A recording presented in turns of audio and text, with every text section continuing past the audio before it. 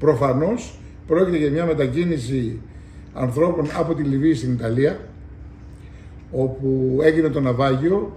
Ε, δεν ξέρουμε πόσοι επιβαίναν στο πλοίο προφανώς.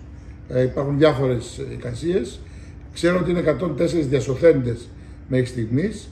Ε, το, το λιμενικό, ε, το Υπουργείο Δικής Αμήνης, στρατός, η αστυνομία, ε, το Υπουργείο Υγείας, το Υπουργείο Δικαιοσύνης είναι όλοι στο πόδι και βοηθάνε, στηρίζουν δηλαδή την προσπάθεια και στη διάσωση και μετέ, μετέπειτα στην, ε, ε, αν χρειάζεται περίθαλψη κλπ. Και βεβαίως και το Υπουργείο Δικαιοσύνης ε, με τους ιατροδικαστές κλπ. να δούμε τι θα γίνει.